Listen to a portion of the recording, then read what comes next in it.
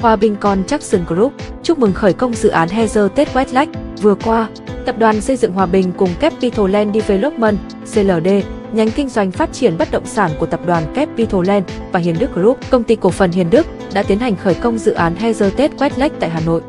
Heather Tết Westlake tọa lạc ngay vị trí đắc địa thuộc quận Tây Hồ, với quy mô dự án là 3 tòa tháp cao 25 tầng, 4 tầng hầm, được thiết kế bao gồm tổ hợp căn hộ cao cấp, khu thương mại, Khách sạn và bán lẻ đây là dự án khu căn hộ cao cấp đầu tiên của CLD tại Hà Nội, cung cấp cho thị trường 173 căn hộ hạng sang. Tại dự án này, Hòa Bình được giao là tổng thầu xây dựng. Tổng giá trị gói thầu gần 1.800 tỷ đồng dự kiến dự án sẽ hoàn thành và bàn giao cho chủ đầu tư vào quý Y 2024.